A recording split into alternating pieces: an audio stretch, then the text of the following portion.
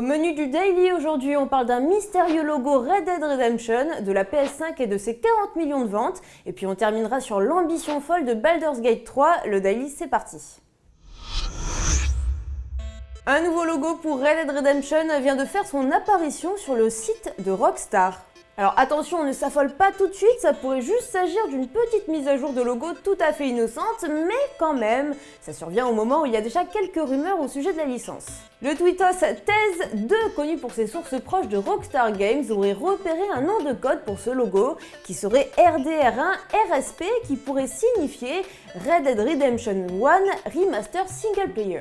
Le mois dernier, le jeu de Rockstar, vieux de 13 ans, a été classé par la commission sud-coréenne de classification du contenu des jeux vidéo, qui a l'habitude de révéler les titres à venir avant leur annonce officielle.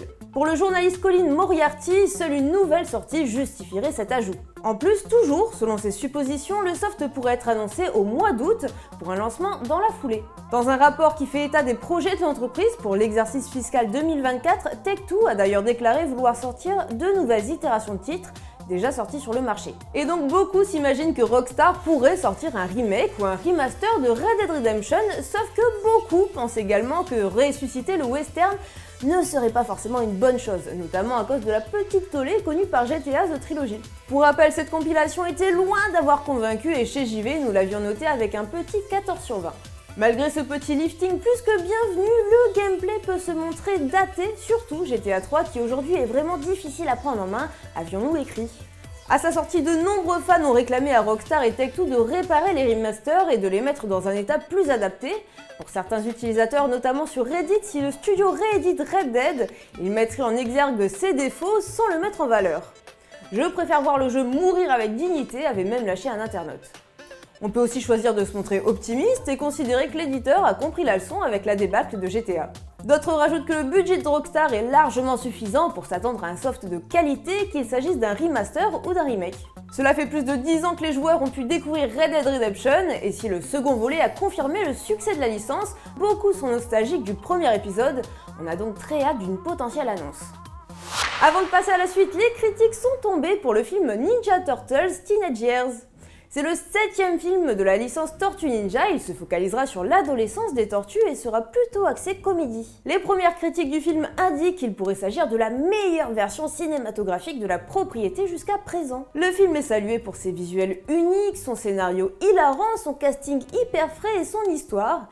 Plus important encore, le film d'animation devrait satisfaire les fans de longue date et les nouveaux venus. Le Hollywood Reporter écrit que ce travail animé en CGI est la version la plus engageante qu'il soit, ce qui est de bon augure pour ceux qui n'ont pas grandi en tant qu'amoureux des Tortues Ninja. Deadline trouve le film irrésistible et Deadline Hollywood Daily dit qu'ils ont réalisé exactement ce que l'on pouvait espérer, une interprétation diaboliquement intelligente, drôle et fidèle.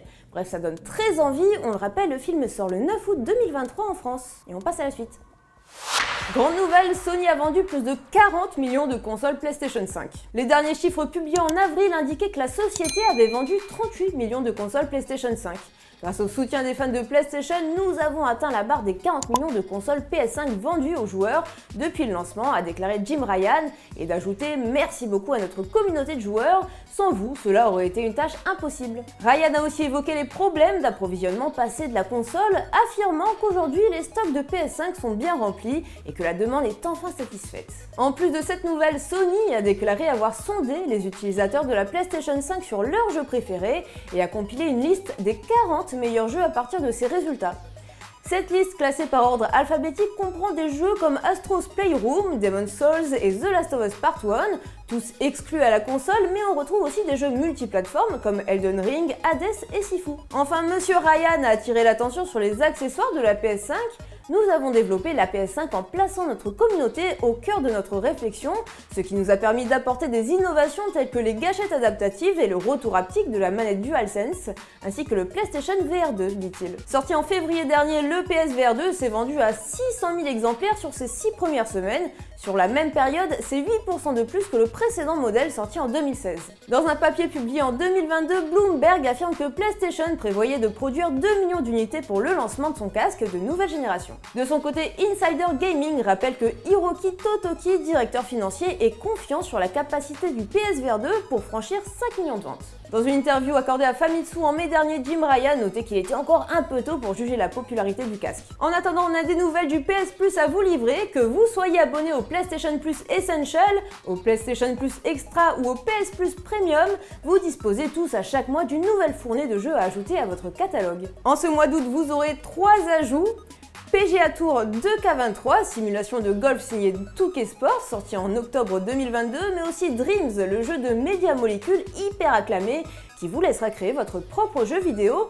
Et pour finir, vous aurez droit à Death Door, jeu d'action et d'aventure très apprécié qui vous place dans la peau d'un moissonneur d'âme. Enjoy avant de passer au dernier sujet, on vous partage une rumeur très intéressante sur un potentiel animé Dark Souls. Ce sont les sources de Giant Freaking Robot qui indiquent que Netflix est en train de développer une série animée basée sur la célèbre licence de From Software. Une saga connue pour des tons sombres associés à une esthétique magnifique qui rendent les jeux visuellement attrayants, mais ce que les fans de la franchise apprécient le plus, c'est l'incroyable défi que représente chaque jeu. Le média indique que l'animé Dark Souls devrait commencer par les événements qui se déroulent dans le premier jeu, la franchise se déroule dans un monde fantastique médiéval et sinistre connu sous le nom de Lordran. Ce royaume est peuplé de chevaliers, de dragons, de fantômes, de démons et d'autres créatures surnaturelles. Lordran était autrefois envahi par les dragons jusqu'à la découverte de la première flamme.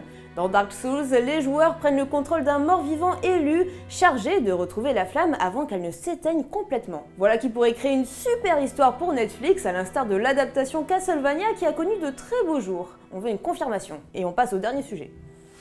À quelques jours de la sortie officielle, Baldur's Gate 3 continue d'impressionner les fans avec des données folles. L'Ariane Studio donne l'eau à la bouche en affirmant par exemple qu'il y aura environ 17 000 fins possibles, et même si ça ne concerne surtout que les variations de dialogue et des détails liés aux décisions du joueur, ça reste impressionnant. Le studio continue de dévoiler des données qui semblent complètement folles, cette fois-ci il est question du nombre de sorts que le jeu contiendrait. Pour rappel, la version anticipée avec laquelle de nombreux joueurs se sont familiarisés leur permettait d'utiliser 131 sorts et 46 seront ajoutés par la suite. Néanmoins, l'Ariane Studio a dévoilé que ça ne constituait même pas la moitié du nombre total présent dans ce troisième volet. Dès le 3 août, date de lancement officielle sur PC, un développeur a affirmé qu'il y aurait 600 sortilèges, en incluant également les sous-sorts, ce qui signifie qu'il y en aurait environ 400 pas encore découverts par les joueurs. La magie est un élément essentiel dans cet univers et leur utilisation, qu'elle soit bonne ou mauvaise, est cruciale. Elle permet de se sortir de situations délicates ou de provoquer des réactions fatales pour l'intégralité des personnages. Avec un nombre de sorts aussi élevé, les possibilités semblent presque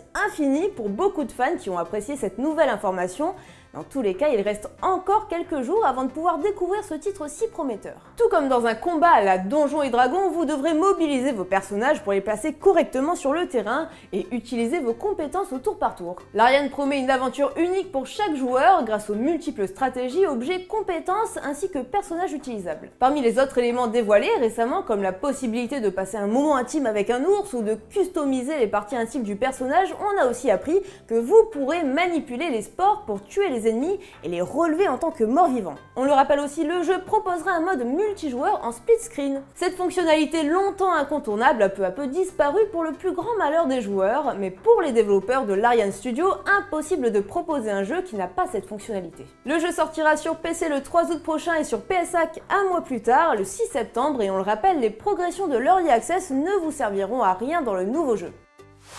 Le daily c'est fini, maintenant place au sondage.